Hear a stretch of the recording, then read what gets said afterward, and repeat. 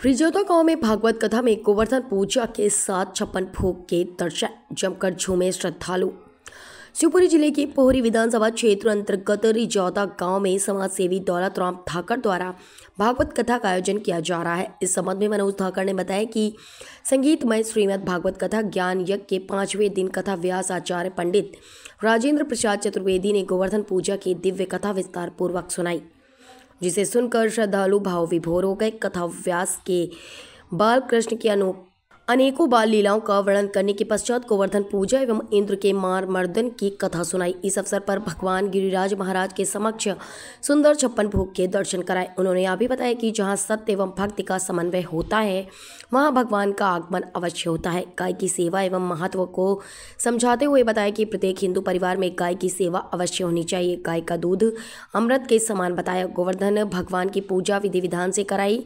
कथा व्यास ने सुनाए भजन। कथा व्यास ने, मैं तो गोवर्धन कूद जाऊँ, मेरे वीर नाप माने मेरो मनुआ। श्री गोवर्धन महाराज महाराज तिहारे माथे मुकुट, विराज रयो आदि मनमोहक भजन सुनाए। अंत में आरती के पश्चात सभी को छप्पन भोग का दिव्य प्रसाद वितरित किया गया।